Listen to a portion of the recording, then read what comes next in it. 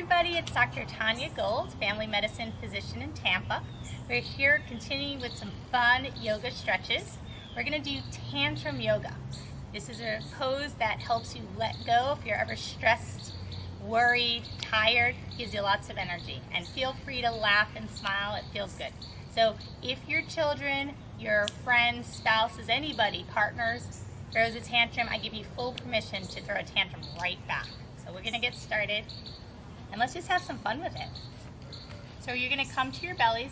If this is too much, you're not allowed to be on your belly for whatever reason, you can do this also on your back. And I'll demonstrate both. So you're on your belly. You're gonna take a deep breath in. And as loud as you can, you're gonna go, ah!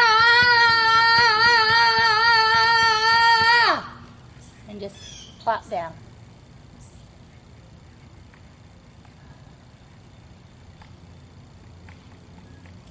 It's a great stress reliever. and the other way to do it is on your back.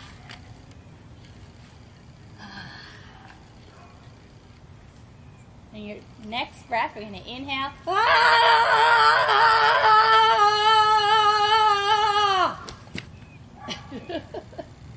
and it's fine if you start laughing. And just let go.